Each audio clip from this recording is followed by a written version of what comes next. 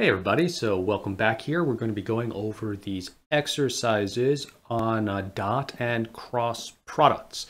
If you haven't done the exercises yet, I suggest you pause the video here, go check the link in the description below so you'll find a PDF on the website there. You can download that and do the exercises first, then come back here and we'll go over the answers. Okay, so let's go over the answers now. Uh, we're going to compute the dot product of vectors A and B using the angle method. Okay, so this is talking about how the dot product of A dotted with B is equal to A, B cosine of the angle between them. Okay, so the magnitude of A times the magnitude of B times the cosine of the angle between them. And we're calling this angle phi. Okay. Well, what is phi going to be? Phi is going to be, uh, well, it's going to be 180 degrees minus 40 degrees minus 20 degrees. Okay, so right, you can see this is 180 minus 40 minus 20. That'll give us our phi, which is a separation between the vectors here. And we can see that that is going to be equal to 100 and 20 degrees. Okay, so uh, that's going to be our phi. Now we can uh, calculate the dot product now. I think that's all we need to do, right? So this is going to be equal to A, which is 10 meters, times B, which is 7 meters, times the cosine of 120 degrees. All right, well, let's uh, bring out our calculator. 120 degrees cosine and we're going to multiply this by 70. And so we get an answer of negative 35 meters squared. Great. Okay, let's take a look at uh, using now the component vector method. Okay, what does that mean? Well, we're going to use the other version of the dot product uh, the other the other way of calculating the dot product rather, and that's going to be the formula where a dot b is equal to ax times bx plus ay times by plus az times bz. Okay, so in this case, we're going to have to find the component vectors for a and b, and then we can plug them into this formula, and hopefully we're going to get an answer that is the same hopefully. Uh, let's try it out. So let's find the components a of x, a of y, and a of z. Well, a of z we know is going to be 0. We can see that right away. Uh, a is in the xy plane. But for these others, we're going to have to do a little bit of a calculation, right?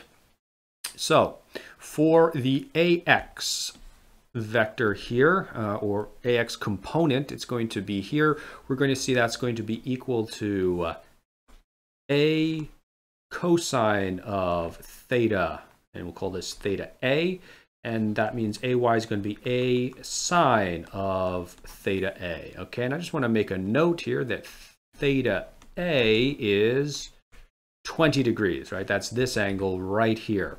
We're also going to have a theta B, which is going to be this angle, right, to vector B. And that is going to be equal to, uh, what is that? Well, that's going to be equal to 180 degrees minus 40, right?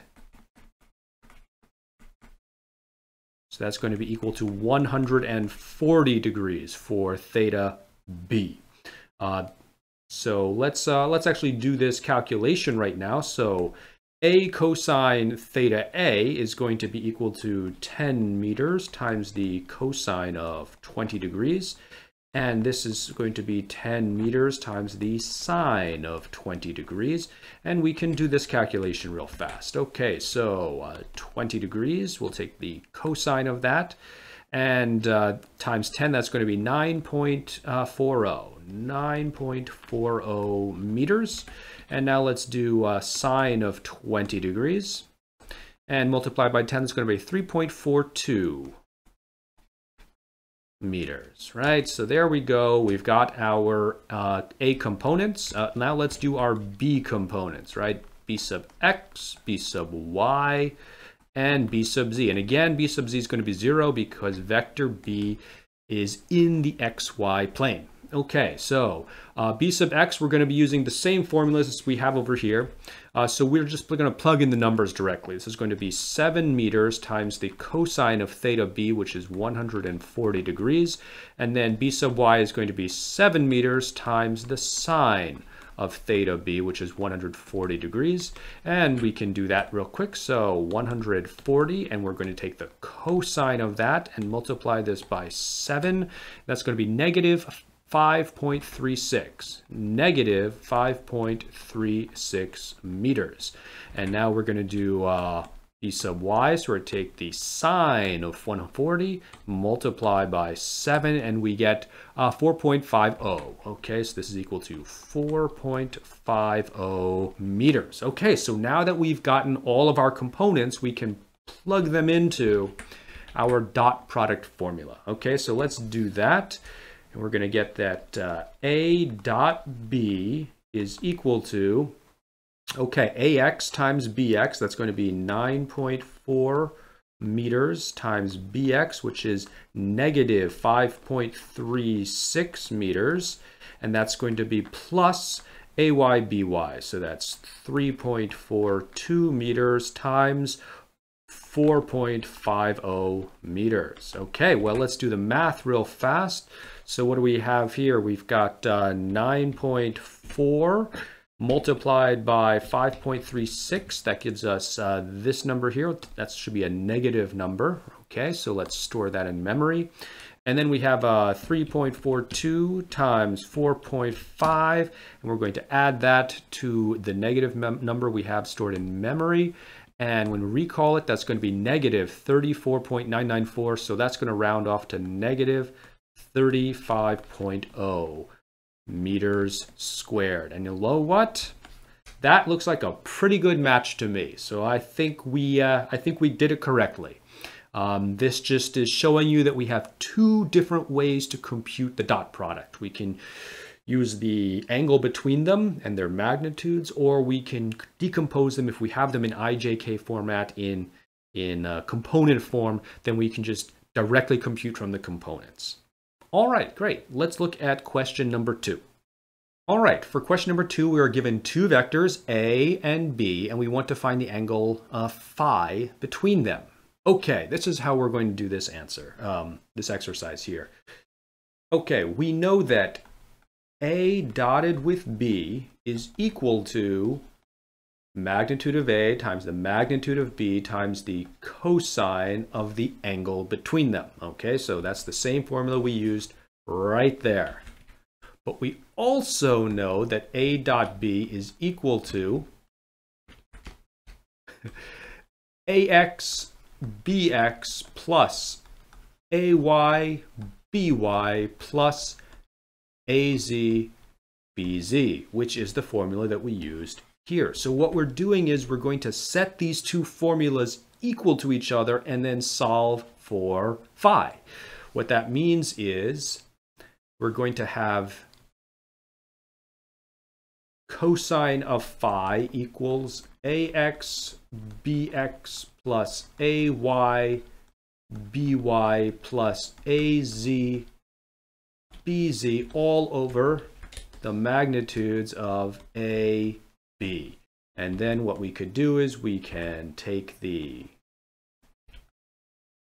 inverse cosine of both sides and we will be able to now solve for this angle phi. So that's all we have to do here. So we already have the components, so we know AX, BX, AY, BY, AZ, BZ. We know what they are, but we don't know yet what the magnitudes of A and B are. So First, let's calculate the magnitudes of A and B. Okay, so the magnitude of A is going to be equal to ax squared plus ay squared plus az squared, and then we're going to take the square root of all of that. Okay, this is the Pythagorean theorem for three dimensions, right? Okay, so let's do this. Let's plug in some numbers. Uh, AX is going to be, uh, okay, so it's 9 squared, and then plus 2 squared plus negative 5 squared, and we take the square root of all of that. Okay, so this is equal to, uh, what is this, uh, 81 plus 4 plus 25. Let's, uh, let's see what that is equal to. Got a 81 plus 4 plus 25, and then we take the square root of all of this. Square root of 110 is going to be 3.24. Okay, so this is, oh, sorry, no, I took the double square root. The square root of 110 is 10.5. Okay, so let's say this is equal to 10.5. All right, so there we have the magnitude of vector A. Let's do the same thing for vector B. Okay, B is going to be equal to negative 7 squared, uh, negative 7 squared plus 4 squared uh, plus negative 3 squared, and then we take the square root of all of that. Okay, so this is going to be uh, 49 plus 16 plus 9, and we take the square root of that, so let me do that. 49 plus 16 plus 9 is 74. We take the square root, and that's going to be 8.6. So b is equal to 8.6. So now we have the magnitude of B. All right, so we should now be able to just plug in all of our numbers and we're going to find our answer, right? So phi is equal to the inverse cosine of uh, ax 9 times negative 7 plus 2 times 4 plus negative 5 times negative 3 all over 10.5 times 8.6. Okay, so we've plugged in all of the numbers. Now we just have to calculate what these answers are going to be. Uh, okay, so what do we have here? Uh, well, uh, 9 times 7, uh, 9 times negative 7, this is going to be, okay, cos inverse cosine of uh, negative 63 uh, plus 8 and then plus 15 over, uh, what do we have here? Uh, 10.5 times 8.6 is equal to 90.3. Okay, so this is 90.3. And uh, we can continue on here. So we've got uh, 15 plus 8 minus 63 divided by 90.3. And then we're going to take the inverse cosine of this number here, and we get an angle of 116.3 degrees. 116.3 degrees. And that is our value here for phi. Okay, so hopefully you got a number that is pretty close to this. This is going to be the angle between vectors A and B. there we go. Great. Okay, now question three. We want to compute the magnitude and direction of the cross product of vectors A and B. Okay, so we're going to cross product now. Uh, now, we're going to use the angle method and then we're going to use the component vector method. Okay, so these are the same vectors that we used with the dot product, but now we're doing a cross product. So what is the angle method going to be? Well, we're going to find, if you remember, our equation is that uh, a cross B is equal to AB sine of phi, okay? Now, we already know what phi is going to be here, right? Because we calculated this before. Uh, phi was 120 degrees. It's the same the same vectors. So this is 120 degrees. So what we can do now is just plug in these numbers, right? So this is going to be 10 meters times 7 meters times the sine of 120 degrees. So let's do this calculation. We're going to have 120 degrees and we'll take the sine of it and then we'll multiply this by 70. So that's going to equal 60.6. 60.6 meters squared. That's going to be our uh, value for uh, A cross B, but we also need a direction, okay? So A cross B should give us a vector with magnitude and direction. We've calculated the magnitude, okay? So remember that actually what we've done here is we've calculated the magnitude of A cross B. Now we need to add a direction. And in this case, since A and B lie in the XY plane, we can just use our right-hand rule, and we know that uh, A cross B is going to give us a vector that is now along the z-axis. Right, so we can see that A cross B is going to give us some kind of vector along the z-axis, just like that, using the right-hand rule. And so how do we write this down? Very simply, we can write that A cross B is equal to 60.6 meters squared in the k-hat direction. And there we go, magnitude and direction of the cross product should be finished. Okay, let's try this with the component vector method now. See if we can verify and get the same answer. Okay, so now we're going to use the component vector method to compute the cross product. Now, the equation here for the cross product is going to be kind of big and messy, and I never remember how to actually write it down. I, have just never memorized what all of the variables are going to be. I do know that there's going to be some form where it's going to be a something, b something minus a something, b something in the i hat direction, plus the same thing minus a something, b something in the j hat direction, plus the same thing in the k hat direction. So I kind of remember that it's going to be of this form. But what are the exact A and B components? That I don't remember. Okay, so instead of remembering it, I just rederive it. So I'm going to have a little set of axes here, right? And this is going to be my X, Y, and Z axes. And I'm just going to draw some unit vectors on here really fast. So what do we've got here? We've got uh,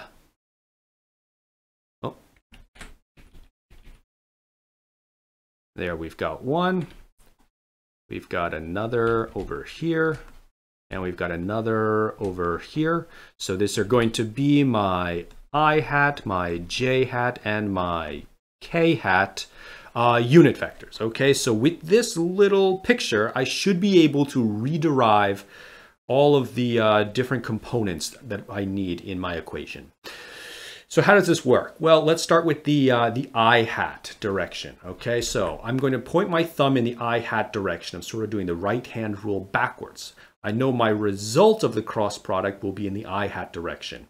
And so in order to get that, I'm going to have to cross a positive, uh, for a positive uh, I hat direction, I'm going to cross an A sub Y with a B sub Z. And I can see that's what I'm going to get. So A sub Y times a B sub Z.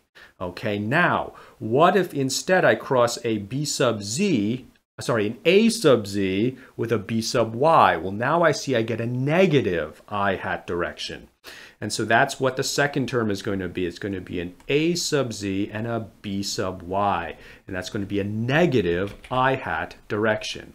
Okay, let's try the j hat direction. So I point my thumb in the desired final direction, the final result of the cross product, j hat. And in order to get this, I'm going to have to uh, multiply, I see I'm going to have to multiply an a sub z with a b sub x. Okay, a sub z with a b sub x. And I know I'm just going to have to reverse it to get the negative, right? So I just reverse those. And finally, we're looking at the k-hat direction. So I want my thumb pointing out of the screen in the k-hat direction. So this is going to be an a sub x times a b sub y, right? And a sub x times a b sub y, and then I just reverse it for the last two terms. And there we go. I've rederived the formula to calculate the cross product using components. Okay, what a wonderful achievement. Now we actually get to write down what all these components are. So we need uh, a sub x, a sub y, and a sub z. And we know a sub z is going to be 0 because it's in the xy plane. And I've actually already computed these components. So I'm just going to copy them from what we had before. Uh, that's going to be 9.4 meters, 9.40 meters, and a sub y is 3.42. No sense in uh, doubling our work, right? So we got b sub x, b sub y, and b sub z, which is, of course, 0. All right, what are these? This is negative 5.36. And b sub y is 4.50. 4.50 meters. Okay, so now I've got my components, I've got my formula, I just have to plug them in. What we're going to see is that since we have a 0 for a sub z and for b sub z, that wherever we have a bz or an az, like here and here, all of these terms cancel out to zero. So we're only going to be left with this last final term with any actual values, right? So let's just simplify this now. We're going to say that for this equation, A cross B is going to be equal to AX times BY minus ay times bx in the k-hat direction. So far that's good because I know here our final answer is in the k-hat direction. So the fact that we have a k-hat direction only here, that's a good sign. Okay, let's actually do this now. Let's substitute this in. So what do we get? Uh, AX is 9.40. B sub Y is 4.50. I should have meters, right? And this is going to be minus A sub Y, which is 3.42 meters, uh, times B sub X, which is going to be negative 5.36 meters. Okay, time for the calculator. 9.4 times 4.5. There we go and then 3.42 times 5.36. We add that, and what do we get? There we go, 60.6. Okay, so this is going to be equal to 60.6 in the k-hat direction. I forgot to uh, add the k-hat direction there, but there we go. We got the final answer here, and it is exactly the same. So no mistakes. We did get the answer and uh, the angle method and the component method, they both worked out. Great. Okay, let's look at question number four here. Now, question number four asks us to find the cross product for A and B, and then also find the reverse, right? We're going to find uh, B cross A. So, okay, that's fine. Let's do this. We'll just borrow this equation that we wrote down over here. Okay, this is going to be our equation to calculate uh, the cross product. Let me shrink it down just a little bit. Okay, there we go. So uh, let's start plugging in some numbers, right? So A cross B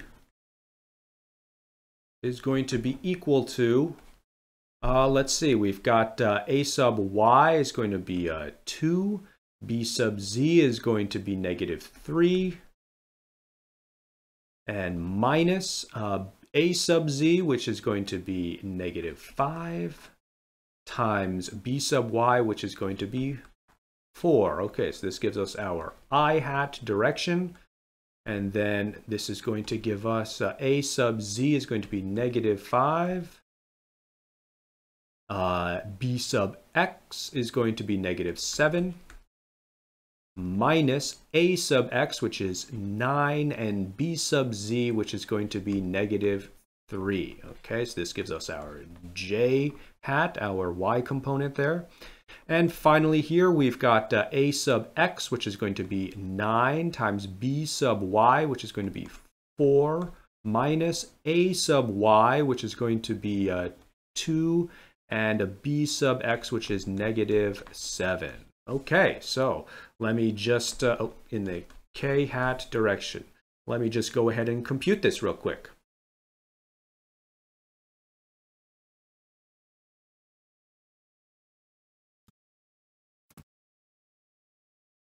Okay, so looks like uh, A cross B is going to be equal to 14 I hat plus 62 J hat plus 50 K hat. And that's going to be our final answer here for the value of A cross B. We just have to plug in those numbers. It's actually not too difficult to compute, right? Okay, so now we're going to do the same thing for B cross A, except in this case, I'm going to rewrite this equation. I'm going to rewrite it and I'm going to use it uh, for a B cross A. So in this case, we're going to sort of reverse everything, right? It's going to be BYAZ minus BZ AY I hat plus BZ AX minus BX AZ j hat plus bx ay minus by ax in the k hat direction. Okay, so now that I've got that, I should be able to just plug in the numbers. So let me do that real fast.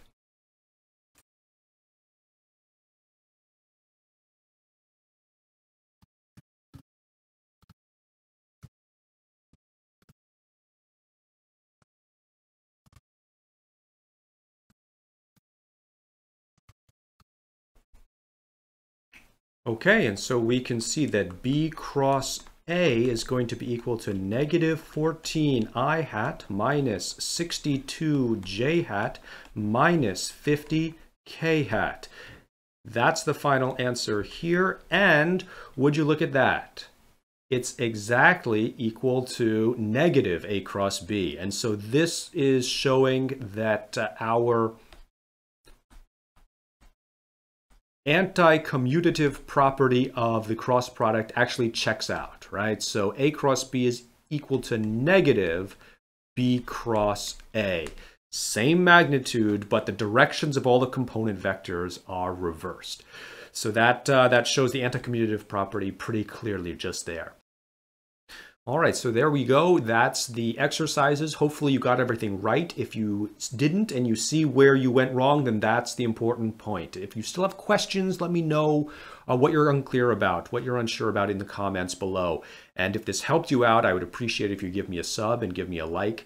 And I'll be back with another lesson as we start looking at some more mechanics and some more physics in the future. So I hope to see you at the next lesson. All right, bye-bye.